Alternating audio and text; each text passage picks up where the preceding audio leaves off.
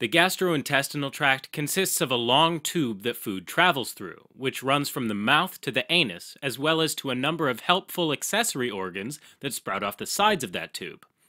The gastrointestinal tract is made up of the mouth, pharynx, esophagus, stomach, small intestine, large intestine, and finally the anal canal.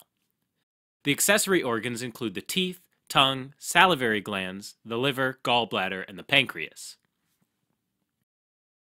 The main job of the gastrointestinal system is ingestion, taking in food, digestion, breaking it down into nutrients, absorption, pulling these nutrients into the bloodstream, and finally, excretion, getting rid of waste. Alright, so let's say we eat a slice of pizza. The pizza goes in our oral cavity where we use our teeth to masticate or chew the food up into small fragments. These fragments get tasted and rolled around by the tongue, which is basically a huge muscle that lines the floor of the mouth.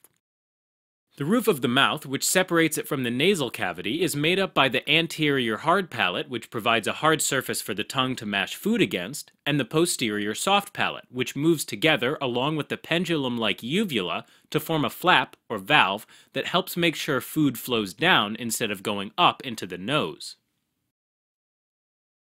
At the same time, the three sets of salivary glands, the sublingual below the tongue, the submandibular below the mandible, and the parotid gland, which is near the ear, all secrete saliva to lubricate the food.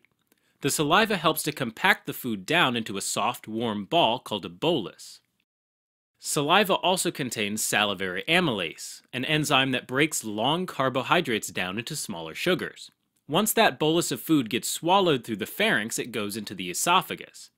Right at that moment, there's a spoon-shaped flap of cartilage called the epiglottis, which acts like a lid and seals the airway off so that the food doesn't end up in the lungs by accident.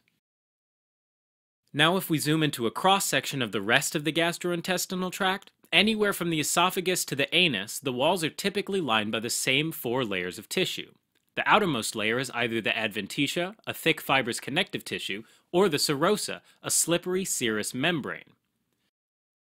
Next is the muscularis externa, a smooth muscle layer which contracts automatically without you even having to think about it.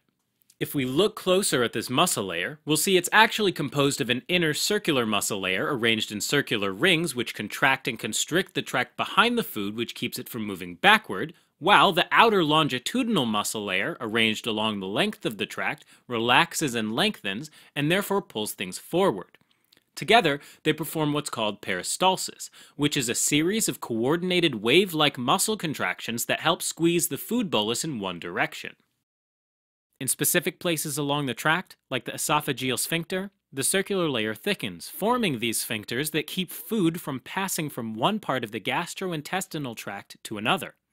Also, between the circular and longitudinal muscle layer, there's a plexus, or network of nerves, which helps coordinate muscle contraction and relaxation. This is the myenteric plexus, also called the Auerbach's plexus, which when activated causes smooth muscle relaxation. Now, surrounded by the muscularis externa is the submucosa, which consists of a dense layer of tissue that contains blood vessels, lymphatics, and nerves. Specifically, buried in the submucosa, there's a second plexus, the submucous plexus, also called the Meissner's plexus, which is responsible for helping to control the size of the blood vessels, as well as the secretion of digestive juices. And finally, there's the inner lining of the intestine called the mucosa, which itself consists of three cell layers. The outermost layer of the mucosa is the muscularis mucosa, or muscularis interna, and it's a layer of smooth muscle that contracts and helps break down food. The middle layer is the lamina propria, and it contains blood and lymph vessels. Finally, there's the innermost epithelial layer, and it absorbs and secretes mucus and digestive enzymes because this is the layer that comes into direct contact with food. Now, the esophagus has a particularly thick muscularis externa that propels the bolus of food down to the esophageal sphincter, which opens, allowing the bolus to pass into the stomach. In the stomach, there are four regions the cardia, the fundus, the body, and the pyloric antrum. There's also a pyloric sphincter or valve at the end of the stomach, which closes while eating, keeping food inside for the stomach to churn over and over again. To help churn the food, the stomach has an extra layer of oblique smooth muscle within its muscularis externa that allows it to contract and expand like a big accordion. Also, the inner lining of the stomach has millions of tiny gastric pits that dive down into the gastric glands. These glands contain a variety of secretory cells which produce gastric secretions. Gastric secretions are made up of hydrochloric acid, which help destroy any pathogens that slip through the food, an enzyme called pepsin, which chops up proteins, mucus, which protects the stomach, as well as water, which turns the bolus into a liquidy pulp called chyme. Now, once the stomach is done doing what stomachs do, the pyloric sphincter opens, allowing the chyme to pass into the small intestine. The small intestine has three parts the duodenum, the jejunum, and the ileum. And despite its name, the small intestine can be as long as 10.5 meters, or about 35 feet, with lots of tiny ridges and grooves, each of which projects little finger like fibers called villi. And in turn, each villus is covered in teeny tiny little microvilli. All of this gives the small intestines plenty of surface area to absorb nutrients. But almost no nutrient absorption can take place without the help of the trio of accessory organs the liver, the gallbladder, and the pancreas.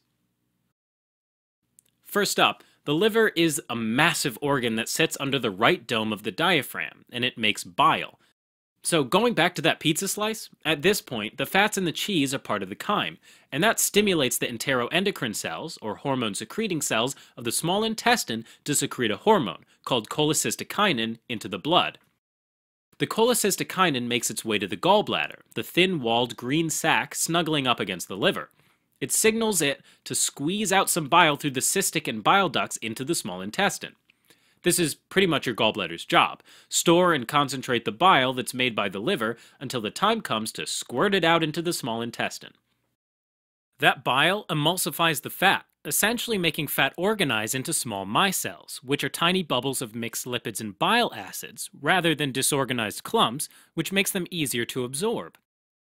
And this is where the pancreas comes in.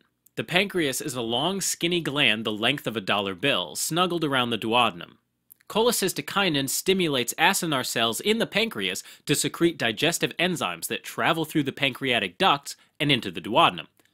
One enzyme is pancreatic lipase, which grabs the triglycerides hanging out in those micelles and breaks them down into fatty acids and glycerol.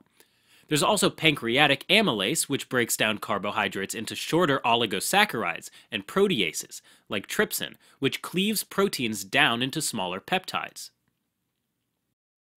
Now, to prevent the hydrochloric acid of the stomach from damaging the intestinal mucosa, enteroendocrine cells also secrete another hormone, called secretin, which stimulates the pancreatic duct cells to secrete water and bicarbonate. Bicarbonate helps neutralize the acidic chyme, Raising the pH of the intestinal lumen also helps digestive enzymes work more effectively. A generous amount of bicarbonate is also secreted by a number of glands lying in the submucosa of the duodenal wall. At this point, we're almost ready for absorption. Fatty acids and glycerol can easily pass through the small intestinal epithelium and into the lymphatics. But to help absorb sugars, there are special enzymes on the top surface or brush border of the intestinal cells called brush border enzymes. These are maltase, sucrase, and lactase, which break down the short chains of sugars called oligosaccharides into simple sugars called monosaccharides. These include glucose, fructose, and galactose. Similarly, there are peptidases which break down peptide chains into single amino acids.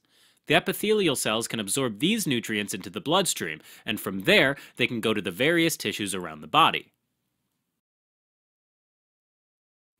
Alright, so whatever isn't absorbed, like fiber, continues its journey onward through the ileocecal sphincter and into the very last part of the gastrointestinal tract, the large intestine, also known as the colon. The large intestine is basically a one and a half meter or five foot long loop that frames the small intestine and consists of six parts.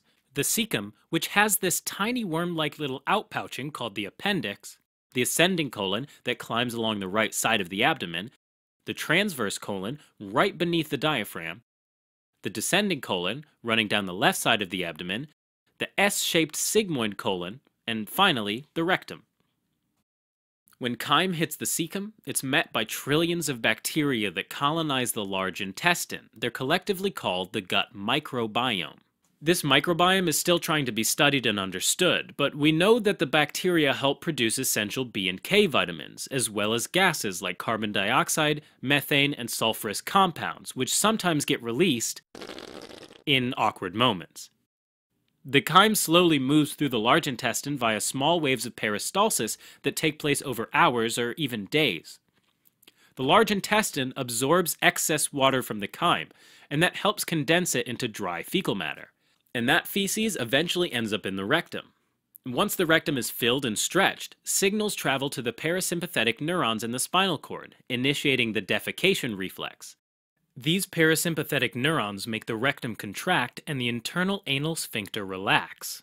Meanwhile, signals are sent to the brainstem and thalamus, and when these decide the right moment has come, they allow the external anal sphincter to relax, and feces goes, hopefully, into the toilet bowl. Alright, as a quick recap food is ingested through the mouth, chewed by the teeth, mixed with saliva, and turned into a bolus. The bolus is then moved by peristalsis through the esophagus and into the stomach, where hydrochloric acid is secreted and pepsin begins the digestion process. Next is the small intestine, where most of the digestion and absorption occurs with the help of the liver's bile coming from the gallbladder and the pancreatic enzymes. Finally, the large intestine absorbs water, the feces forms and gets excreted through the anus.